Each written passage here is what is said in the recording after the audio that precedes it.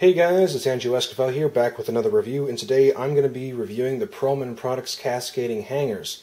Now the hangers are made of wood, and it has this metal loop-de-loop -loop construction on the top. Now this allows you to take another one of these hangers and put it through the loop to cascade them. Now the good thing about this is that wood isn't going to bend and the metal is strong enough to allow you to do this without compromising the integrity of the hangers.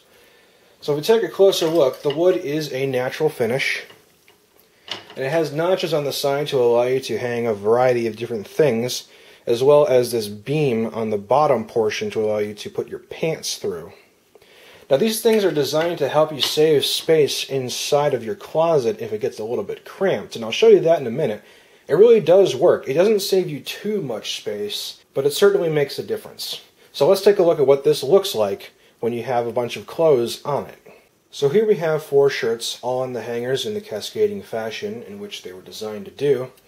And if we take them off here and look at it at this angle, you see they stack really nicely in a vertical fashion versus the standard horizontal orientation that you would normally have hangers in. Let's compare for a moment. Let's take all of these off and look at it at the same angle the other way. That's a lot more space that's taking up your closet. Now here we see a set of 50 hangers total.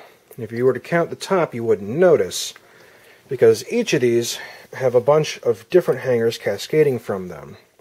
Now make no mistake, just because it's light wood, it doesn't mean that it's not sturdy enough to hold a heavy coat. Were to move this aside, look at this. This coat right here is probably the heaviest one I've got. It's got a lot of different materials in it.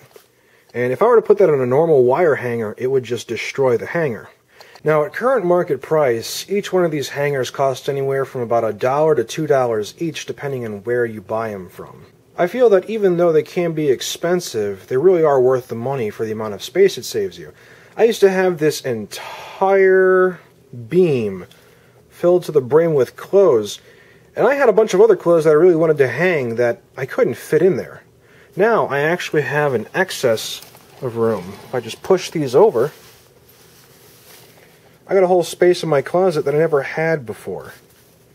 Now you might say, well, why don't I just get some wire hangers and cascade them the same way?